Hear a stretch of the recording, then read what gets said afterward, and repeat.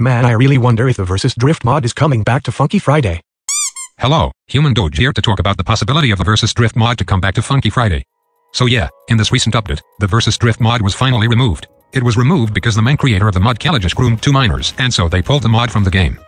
Originally, his name was just removed from the credits, but a YouTuber convinced them to take it another step and get it removed from the game.